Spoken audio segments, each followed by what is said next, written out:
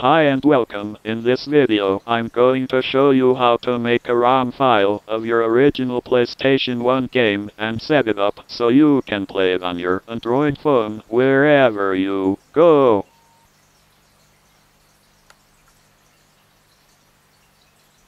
The things you'll be needing are the game, of course, a Android phone,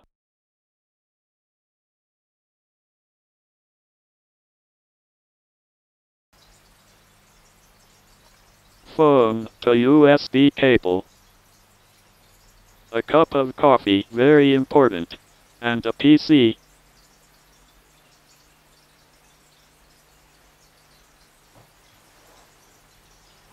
Step 1 is to make a copy of the game, so-called ROM or image. So go ahead and put the disk into your PC.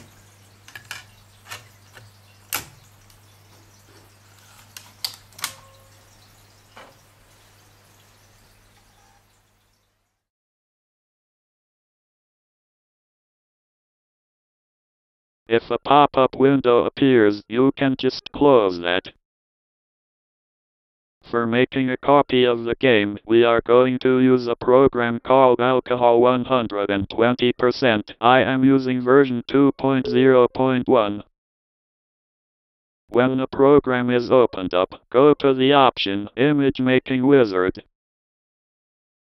After clicking that, a pop-up window appears and the first thing we are going to set is the data type. This must be set to PlayStation.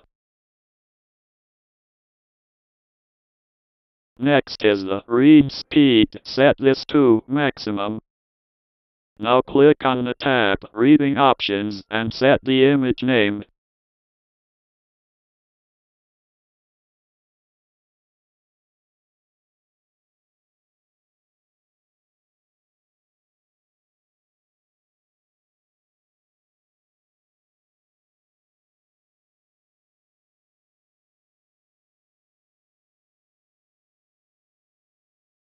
Then set the image location. I use my desktop for this.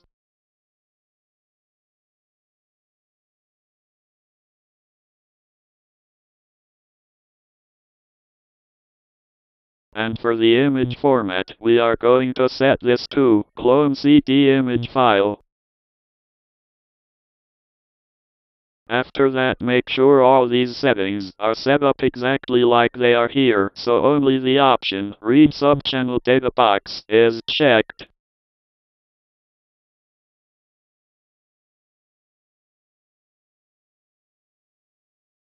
Go ahead and click Start.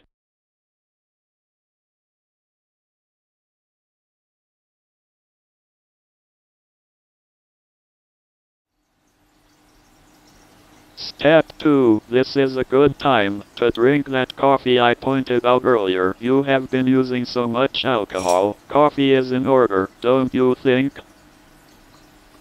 Step 3. In the time it takes for the disk to finish, we are going to download a BIOS file which is needed for the games to run properly later on in the emulator on your phone. Go to the site called emuparadise.me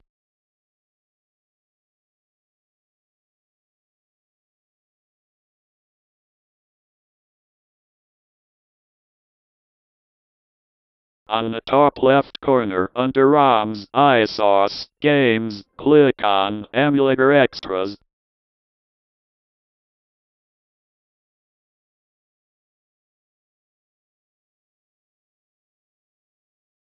Now click on BIOS Images.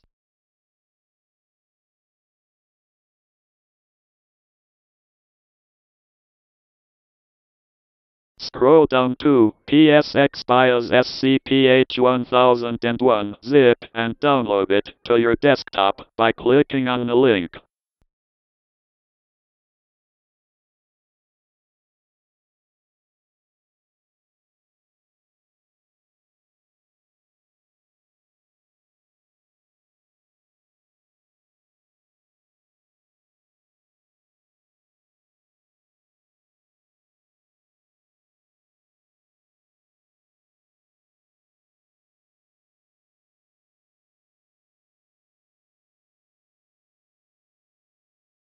Extract this zip file to your desktop.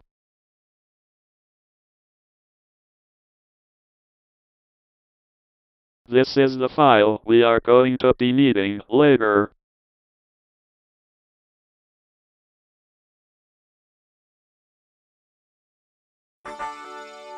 Now when the image making process is finished, go ahead and close the program.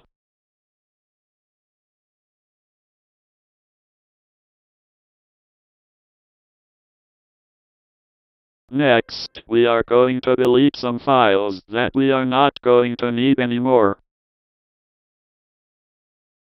So we are left with only the Final Fantasy VII Disk 1 of 3.img and SCP-1001.bin files. Step 4. Plug in your phone to the PC and navigate to its memory card.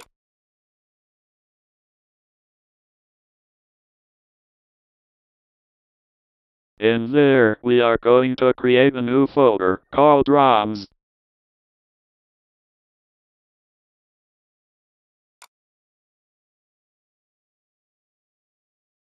You can now select the two files and copy or paste them into the ROMs folder.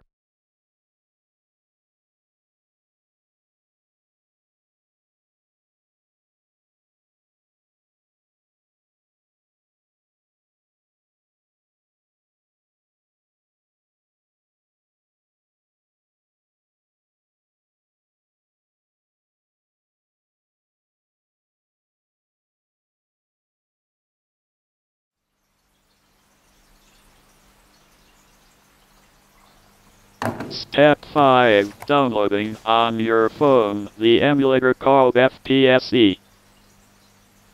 This app is not free, you will have to pay a small fee for it, which is totally worth every penny. Open up the Play Store and search for FPSE.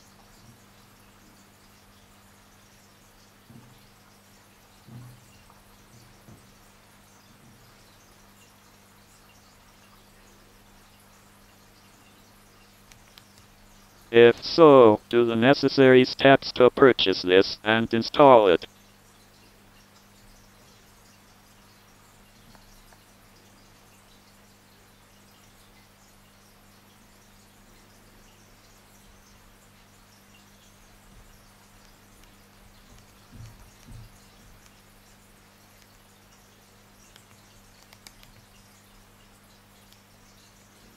Step 6. Setting up FPSE.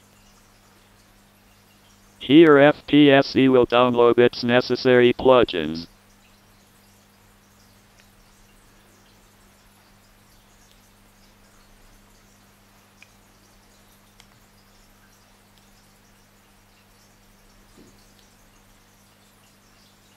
Click on Advanced and click on Load BIOS.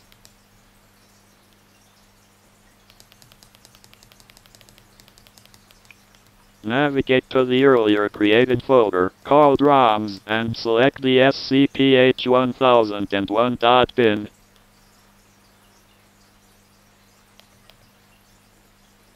Go to Settings and click on System Settings. In here leave everything unchecked except for Fast Boot.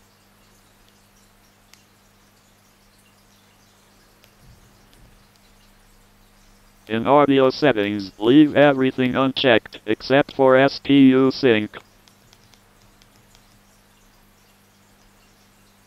In video settings, uncheck everything except for frame limiter.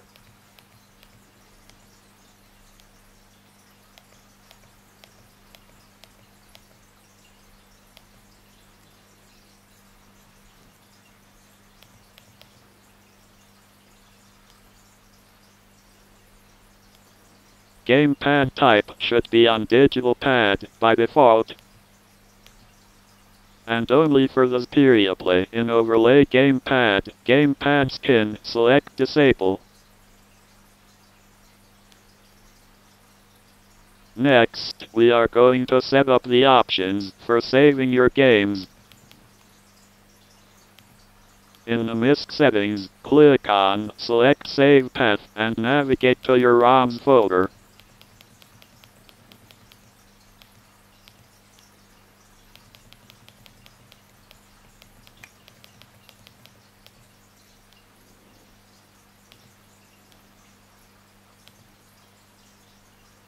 Can do the same for the memory card 1 and 2. After this you will be able to save in game to memory card and or quick save for instant saving.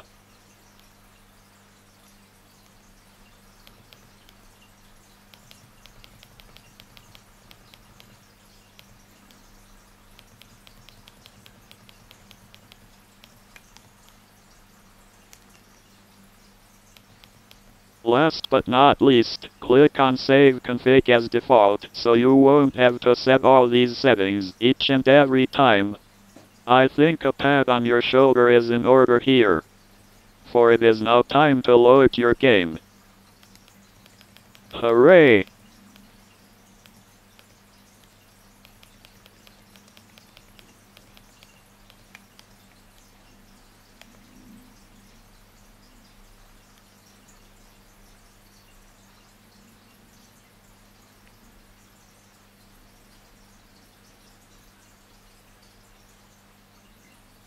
For Xperia Play users only.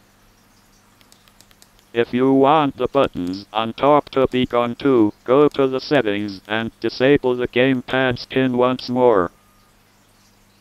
You can later on assign the L2 and R2 buttons to the volume buttons.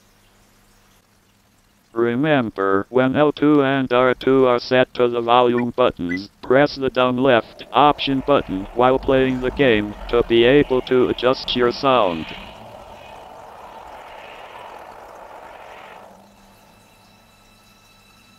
This is Vic signing off, thanks for watching and have a nice day.